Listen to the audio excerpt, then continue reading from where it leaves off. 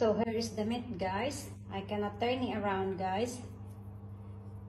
Hopefully it will done this dinner by 1 o'clock guys.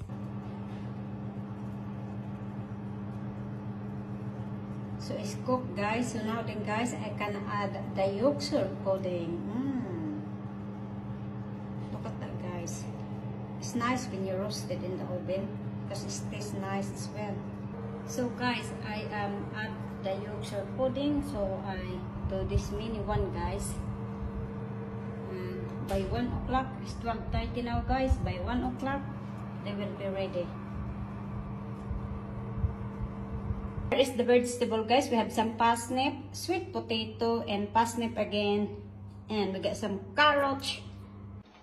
So guys, here is the roast dinner guys. We got beef, Yorkshire pudding, beans, and potato and carrots and parsnip.